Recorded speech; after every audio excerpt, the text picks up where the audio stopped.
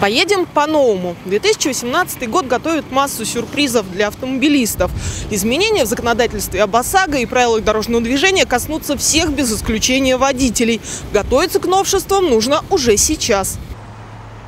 Законодатели планируют упростить процедуру привлечения нарушителей к административной ответственности. Записи видеорегистраторов в госавтоинспекции принимают и сейчас, но процедура достаточно трудоемкая. За 11 месяцев 2017 года на официальный сайт госавтоинспекции поступило порядка 4177 обращений граждан.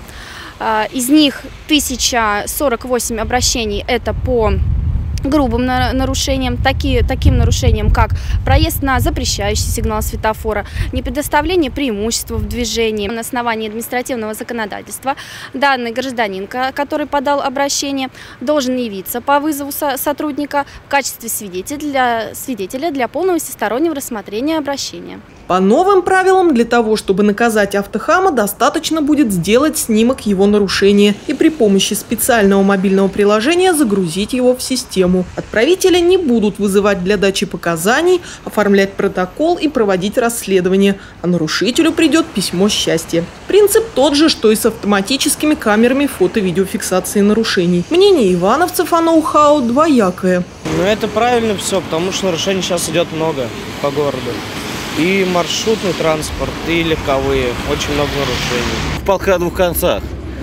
Где-то, если нарушения какие-то, я считаю, там не сильно э, серьезные, то, мне кажется, и смысла отправлять нет.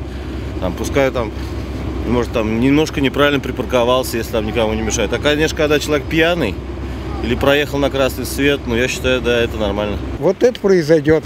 Все, кому-то хочется, как говорится, ну, навредить. Ага. Ну-ка я на него заявление напишу. Ах, ему там в ГАИ там, попробуй докажи потом, что ты, как говорится, это, никто. Пока акция «Сам себе инспектор» стартует только в ряде пилотных регионов. Но если новшество зарекомендует себя хорошо, скоро любого автохама можно будет привлечь к ответственности при помощи одного лишь фото.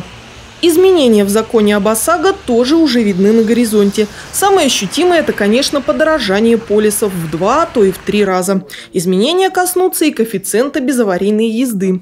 Коэффициент бонус-малус, так называемый.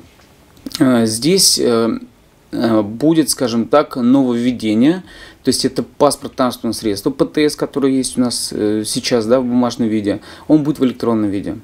Э, для чего это делается? Для того, чтобы вся та история автомобиля, транспортного средства, которая есть, она будет прослеживаться, что называется, от завода-изготовителя до, скажем так, его уже ну, утилизации, скажем так, да, то есть вся история будет прослеживаться. Чтобы вот этот коэффициент он оставался за автомобилем, чтобы было понятно, э, кто управлял автомобилем, кто э, был участник в ДТП и так далее. То есть вся эта история будет уже в электронном виде прослеживаться. Вишенка на торте изменений в страховании автогражданки – новые полисы с QR-кодами. При помощи специального приложения можно будет сразу проверить регистрацию документа в системе РСА, что исключит вероятность подделки. Будет QR-код, э, который будет в правом углу находиться. Это как электронный полис, так и э, физический, скажем так, бланк, да, для того, чтобы было удобно инспектору ГИБДД на месте проверки, скажем так, самого полиса подлинности, а, считать этот код и понять, в каком состоянии находится. То есть отгружен он, да, то есть утерян, Э, украден и так далее. С марта для водителей обязательным станет ношение светоотражающего жилета в темное время суток. А еще, вероятно, уже в 2018 году на дорогах появится новый знак – зона успокоенного движения. На участках, обозначенных соответствующим образом, пешеходам будет разрешено переходить проезжую часть в любом месте. При этом автомобилистам запретят совершать обгоны и двигаться быстрее – 10-20 км в час. Такие зоны уже существуют в городах Европы. Когда новые знаки появятся, в России и конкретно в Иванове, информации пока нет. Наталья Гутарина, Антон Осипов, Денис Денисов, РТВ Иваново.